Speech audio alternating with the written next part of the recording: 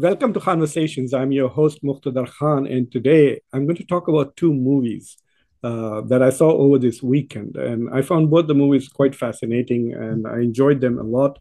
But I'm warning you, there are spoilers ahead. So if you've not seen the movie, please stop this video and don't watch it. Come back and watch it later after you have uh, watched those two movies. The movie that I'm going to talk about is uh, the latest movie among, from the Mission Impossible series with Tom Cruise and uh, Rocky and Rani ki Prem Kahani. This is from Bollywood. So let's start with uh, what I liked about uh, the movie uh, Mission Impossible. The reason why I found that movie interesting, uh, I go to Tom Cruise movies basically for the stunts that he he performs, and I'm I must say I'm a big fan of the fact that he does that himself. The motorcycle jump that he performed, apparently that he performed it himself, and he he did that several times in order to get the best uh, take. Uh, so that takes a lot of courage. He's probably the, the bravest movie star in the world without being, while also being the greatest uh, movie hero, I guess, uh, uh, superstar on the planet. Uh, but what I liked about that movie was that the, the bad guy is now artificial intelligence. And so, given the, the conversation that I had on some of the things that Elon Musk uh, talked about with regards to artificial intelligence and the dangers that it uh, poses uh, to humanity uh, as such. Uh, you you could see that in this movie. Uh, I think the the plot of the movie was written several years ago, and therefore it was, in my opinion, dealing with a very primitive idea of artificial intelligence. There was a lot of vagueness and mystery about uh, uh, what the entity was. Uh, and how it was taking over. But they also pointed to one of the dangers of uh, artificial intelligence that I also talked about in my conversation, which was its threat to the truth. Artificial intelligence can obfuscate reality from fabrication and falsehood and truth, uh, especially by the role that it can potentially play uh, by, by manipulating the social media. But in the movie, uh, the entity was deleting, was basically hacking into systems and deleting the past and also deleting knowledge. So, so basically, it was eliminating the human capacity to know truth. That is, I think, the biggest threat that entity posed uh, to humanity in Mission Impossible.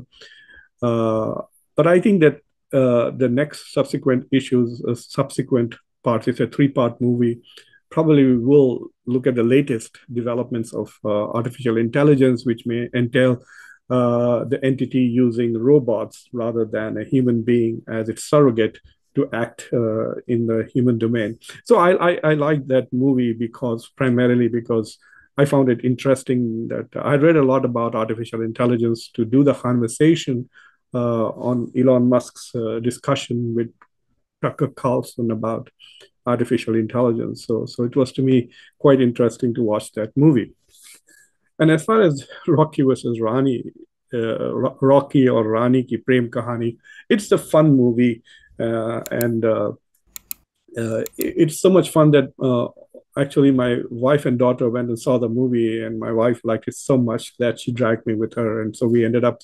She saw the movie twice in three days. Uh, it, it is at least for her, she found that that interesting. It's a funny movie, uh, and uh, the, the stars are both extremely uh, captivating, so you can enjoy the whole movie. But uh, what I liked about the movie was the idea itself uh, that they come from two different cultural, social, intellectual uh, and class backgrounds. Uh, Rani comes from a highly intellectual family. Rocky comes from basically a very rich but not highly educated family background. They sell laddus and make a lot of money. So, but they try to bridge this cultural and intellectual and social divide, especially the divide in terms of values. Uh, Rani's family is pretty woke. they are overly sensitive to anything that is racist uh, or politically incorrect. Uh, while uh, Rocky's family is, you know, uh, chalta hai bindas kind of family. They take everything in their stride. They're more interested, except that family matters. Uh, and uh, there's also a lot of misogyny and, and, patriarchy, very strong patriarchy in Rocky's family. The men dominate everything. I mean, even though actually it was a woman who was dominating everything. Uh, Jaya Bhaduri, I think, played a very interesting uh, role in that movie as the matriarch who was responsible for patriarchy.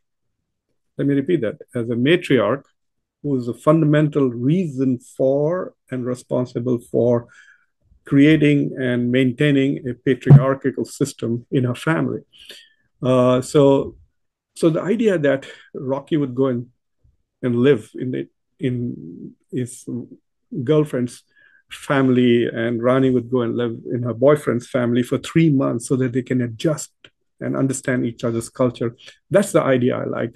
It's actually there is a lot of uh, psychological research going on in cognitive uh, understanding of empathy. This is about empathy. By walking in someone else's shoe for a mile, you understand what their life context is, where are they coming from. So the whole idea of developing empathy, which would then make them both more compatible with each other, was a brilliant idea. Uh, and uh, this uh, this empathy idea is essentially based on uh, the golden rule. You know, uh, uh, do unto others what you want done unto you. In fact, there's a very famous hadith of Prophet Muhammad that even Obama quoted in one of his speeches, where the Prophet, peace be upon him, said, Desire for your brothers what you desire for yourself.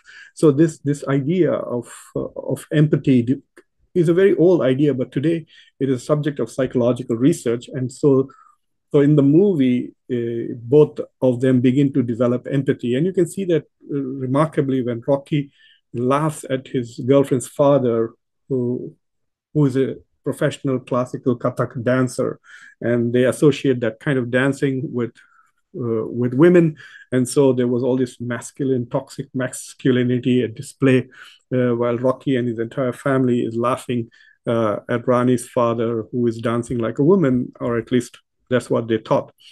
Uh, and so then Rocky then begins to understand his father, his potential father-in-law's desires to be the dancer, and begins to respect it and understand it and value it so much so that he also picks up uh, and actually dances better than his potential future father-in-law uh, in, in, terms of Kathak dancing.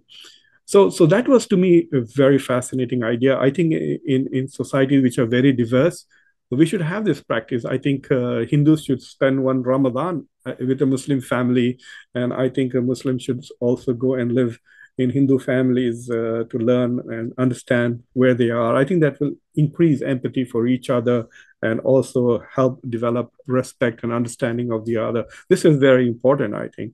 Uh, I didn't like the fact that the movie, which had a very interesting side story of in which Dharmendra uh, and Shabana Azmi, uh, I didn't like that the fundamental transformation of all the people takes place because uh, the patriarch uh, Dharmendra dies uh, I think that was I didn't like that at all. I would have liked it better if all the people involved changed, including Jaya Bhaduri, because of this experiment uh, of trying to develop mutual understanding and empathy by walking in the shoes of another. So I hope you go and enjoy the movie. I did not want to theorize about it, but I like that movie. So that's why I wanted to share. Uh, I do watch uh, Bollywood films and Hollywood films uh, and television series, but I don't do shows about them. The reason why I did was because I was fascinated with the with how the Mission Impossible talked about artificial intelligence. This is the ultimate nightmare of uh, all science fiction writers that we will create a monster one day uh, that we will be unable to control. So I hope you enjoyed it. And until next time, see you. This is Muqtedar Khan, host of Khanversations.